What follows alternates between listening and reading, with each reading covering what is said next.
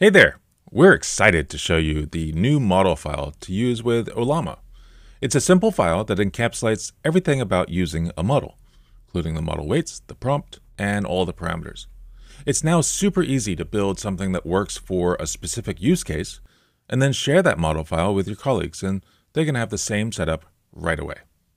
Soon, you'll also be able to share specific trainings and maybe even the state of your model quickly and easily. We're working on a registry and should have something that you can push your model files to soon. And then it becomes a very similar experience to what you have today with Docker. In Docker, you work with layers that stack on top of each other to create your environment. And we have the same thing with Ollama. There's a layer for the model weights, another for the parameters, and another for the prompt. When you share a model file and run it, if you use the same model, only the layers with the different parameters or prompts get downloaded. Soon, we'll also support additional layers for training and maybe other functionality. When you look at the API calls that go back and forth, when you grab a model file, you see that it looks a lot like Docker.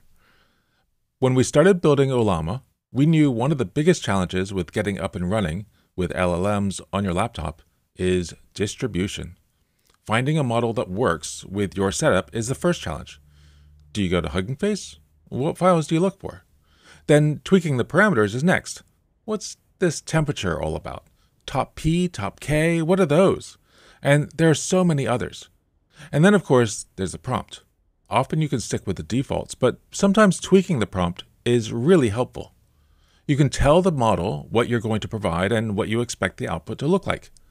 But sharing those prompts is one challenge, and then knowing where to put them in the UI is another. We knew we could make it easier. So let's take a look at how to use model files. First, let's just run a model. It's just like it was before. Oh, Ollama run Llama 2. This will download the Llama 2 model from Meta, but we're actually downloading it from our hub. And then you can run prompts against it. Why is the sky blue? And there's our answer. But let's say you want to customize things a bit. We'll start just by defining a new model file and using a from instruction from Llama 2. Just like Docker, we also support tags that you can add on with a colon and then a tag, like latest, or and maybe with Llama 2 you can add the 13b tag. I'll save that to a file called video example. You can call the file anything you like. And then use the Ollama create command. Ollama create myl2 dash F and the path to the model file. In this case, my L2 is just what I want to call it. The name can be anything you like. Now I can use the run command, ollama run myl2, and I'm dropped into a prompt. So I can ask my favorite question, why is the sky blue? Maybe we want to customize the prompt a bit. Sometimes I have to cook and I don't want to go to the store. I have some ingredients in the fridge, so what can I do with that? I want to give the model a list of ingredients and have it spit out a recipe. Here's a simple prompt for that.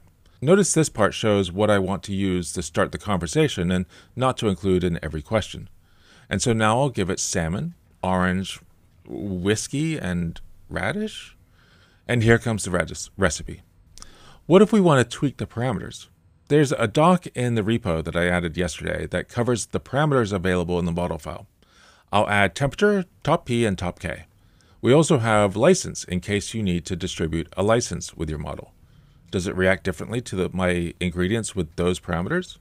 Sometimes you'll have to tweak it more or less depending on the model and your goals for the prompt. Um, but it's really easy to do here. We'll also be updating the menu bar soon to make all of this possible without touching the CLI.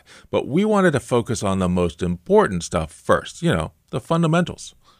There's a lot more we plan to add, we already have a few examples in the GitHub repo. I'm loving this one to generate Midjourney prompts using a prompt I found online.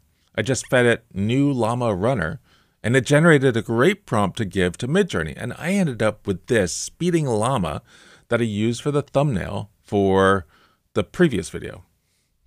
Here are the results of using the term platform engineering, which is a popular buzzword today in the world of DevOps. How do you make an image about platform engineering? Nothing I would create myself would look anywhere near as cool as these. When I used to own the blog at Datadog for a short while, I was terrible at coming up with images, but if I had this back then, we may be in a different place. Well, we are sure you will come up with other great ideas. I mentioned that soon we'll open up the registry for sharing your models, but we can also add any other mod- examples that you come up with to our repo. And so that's it for a quick intro to the model file. Check it out and the rest of Ollama and let us know what you think. Thanks so much for watching. Bye.